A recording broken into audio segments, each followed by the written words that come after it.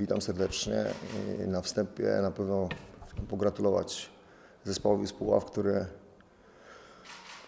który dzisiaj był górą. Wygrał ten mecz. W sumie był kolejny mecz walki. Mogę z ręką na sercu powiedzieć, że zostawiliśmy naprawdę dużo, dużo serca.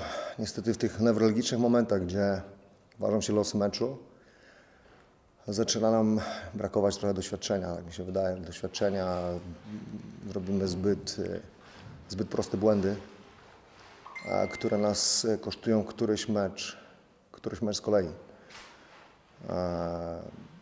Tak jak powiedziałem na wstępie, tutaj naprawdę dzisiaj nie mogę, nie mogę powiedzieć, że chłopacy nie oddali serca, bo dali siebie naprawdę dużo.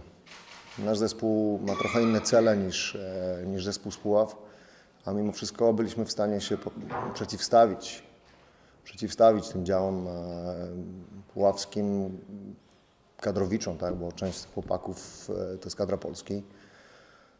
Ja mówię, mm, mógł ten scenariusz trochę inaczej wyglądać. Niestety, niestety przegraliśmy i to bardzo boli.